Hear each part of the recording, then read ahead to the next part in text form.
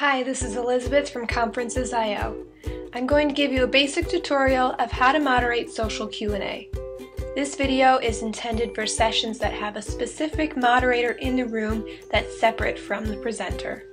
The social Q&A feature allows attendees to ask questions in real time throughout your session.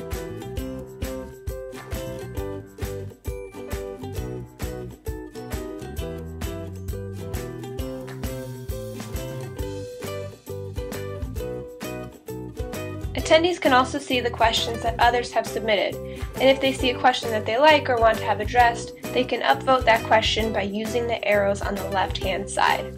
The list of questions will automatically reorder based on popularity. So when it's time for Q&A, the moderator and presenter will know which questions are most important to the entire audience. No matter how much time is reserved for Q&A, you can spend that time most efficiently by answering the questions that the majority of the audience wants addressed. We suggest using a tablet or a laptop to moderate Q&A, but a smartphone will work perfectly fine as well. Whichever device you choose, before your session begins, simply type your event's URL into the internet browser, find your session in the schedule page, and click the button on the bottom to sign in as a moderator.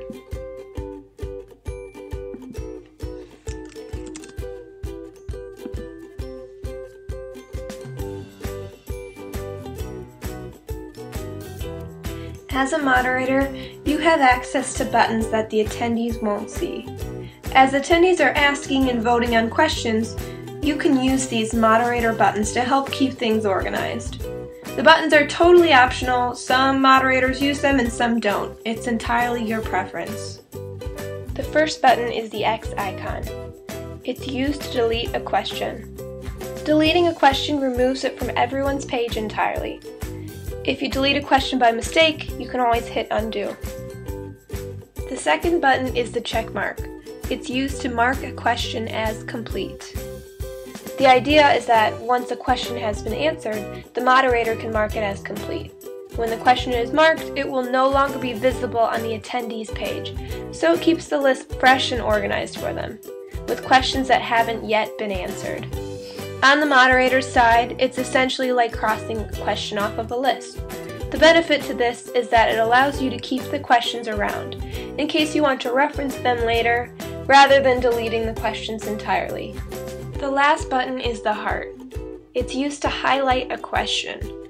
As a moderator, you may see a question that's halfway down the list that you think is a really good one or something you definitely want to ask. You can highlight it for yourself. Nothing changes on the attendee side, but when it's time for Q&A, it makes it easy for the moderator to quickly find the questions that they highlighted, no matter where they end up in the list of Q&A questions. Moderators also have the ability to append answers or replies to questions by clicking on that question.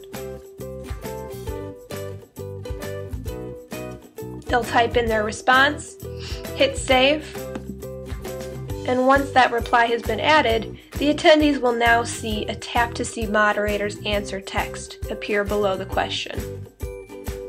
They can actually go in and click this question, view the answer.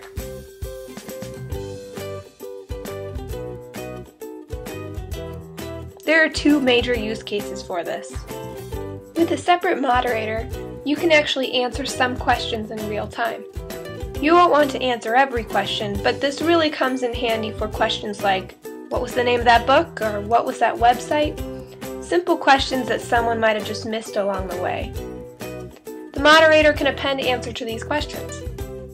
That way, the attendee doesn't have to wait until the end and the presenter doesn't have to waste precious Q&A time on a small, detailed question.